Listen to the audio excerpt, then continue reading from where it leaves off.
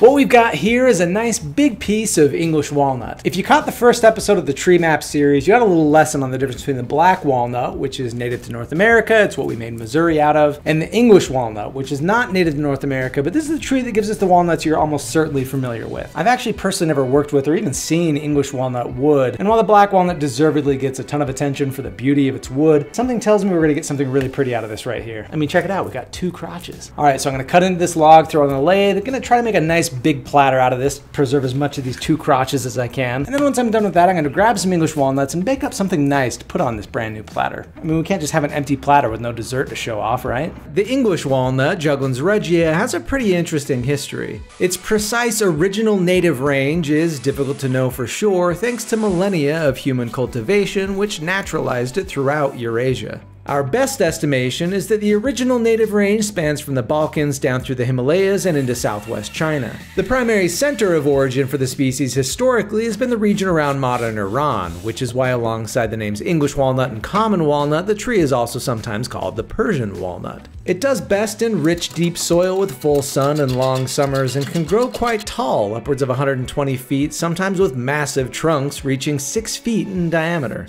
Walnuts are culinarily considered a nut, but botanically they're actually a seed. The fruit of the walnut tree are drupes, which grow in a cluster of 2 to 5, ripening in autumn with a green fleshy husk. That flesh eventually opens up, kinda like a little demogorgon face, to reveal the brown corrugated nut inside before falling to the ground. Walnuts just might be, to our knowledge, the oldest domesticated tree food. They're believed to have contributed significantly to the diet of early hunter gatherers and were domesticated sometime around 7,000 years ago. Walnut trees were subsequently cultivated and traded throughout ancient Greece along the Silk Road, and the Romans called walnuts Jupiter's royal acorn. English colonists brought the tree to the Americas in the 1600s, which is how it developed the English walnut moniker to differentiate the tree from the native black walnut, despite England never being a major walnut producing country. The walnuts that the English walnut produces are the walnuts you're really familiar with. Even though the black walnut is what's actually native to the US, it's difficult to hull and its shell is extremely hard, so it's not cultivated in commercial orchards, while the English walnut most certainly is. And walnuts are used in all sorts of applications, eating them raw or toasted, even pickled, as an ingredient in dishes like cakes, pies, soups, salads, and more. Whole green walnuts can be used to make a liqueur called nocino. Walnut oil is also popular as an ingredient in things like salad dressings. And historically, the walnut was associated with a lot of other benefits, including freshening your breath after eating onions, protecting yourself against poison, and the ancient Greeks believed the walnut to be an aphrodisiac. English walnut wood, as you can see, is quite attractive. Its heartwood can be varying shades of brown or tan, with a sapwood that's almost white. But since its primary value comes from producing nuts, it's rarely used as a commercial lumber like its black walnut cousin. And with that, the platter's all done, and boy, do I really love how this one turned out. The streaks of sapwood, this little bark inclusion, and of course that patch of crotchwood adding some really great chatoyancy. So now let's make something to serve up on this platter. Starting of course with some English walnuts, which I'll spread evenly on a baking sheet and toast in an oven at 375 degrees for about 5 minutes or until they look nice and toasty. After they've cooled off, it's a quick chop chop chop and let's set these aside for later. And pull out the pumpkin because it's October and I'm gonna make some walnut pumpkin bread. This recipe from America's Test Kitchen calls for first cooking a 15 ounce can of pumpkin puree on a stovetop, which they say helps remove that tinny flavor that accompanies canned pumpkin.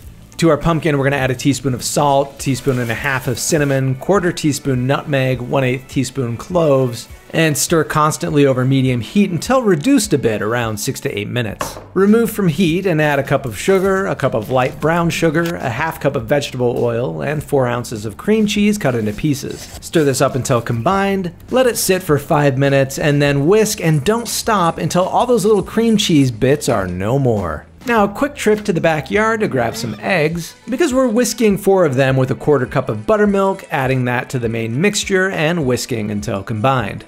So I just got done making all of this all over again. Uh, no surprise, I screwed up one of the steps. I forgot to mix in the baking powder and baking soda in with the flour, which meant I got to go all the way back down to the grocery store to get another can of pumpkin. But the good news is, is it's turning out better this time since A, I had a practice round, and B, I wasn't running around filming each step of the process. So Let's get back to folding. Add a teaspoon and a half baking powder and a half teaspoon baking soda to two cups of all purpose flour. Mix it together and fold it into the pumpkin mixture until combined. And some small lumps of flour sticking around in your mixture is nothing to worry about. Now let's fold in Jupiter's Royal Acorn itself, our chopped roasted walnuts. For the topping, add 5 tablespoons brown sugar, a tablespoon flour, teaspoon cinnamon, 1 8 teaspoon salt, and a tablespoon softened unsalted butter. Mix this together with your hands until it looks and feels like wet sand.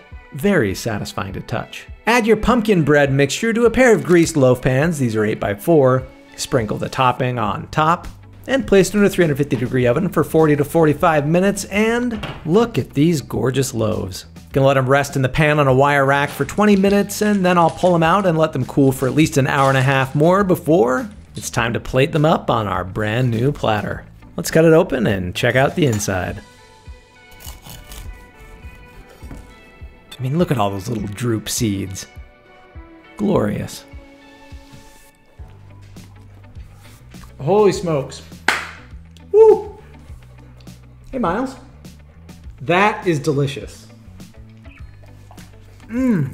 The cooking of the pumpkin puree is a brilliant move. The walnuts add a perfect crunch with just a tiny complementary flavor. And lest we forget, big props to our English walnut platter as well. This is an excellent fall time recipe, 10 out of 10, highly recommend. I might just accidentally eat this entire loaf.